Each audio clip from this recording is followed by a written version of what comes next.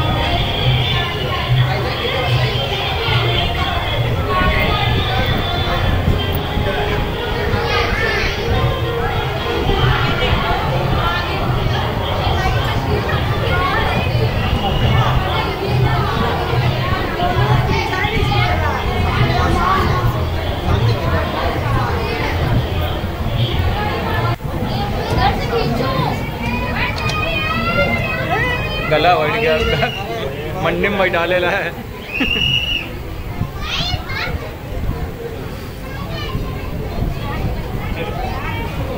ये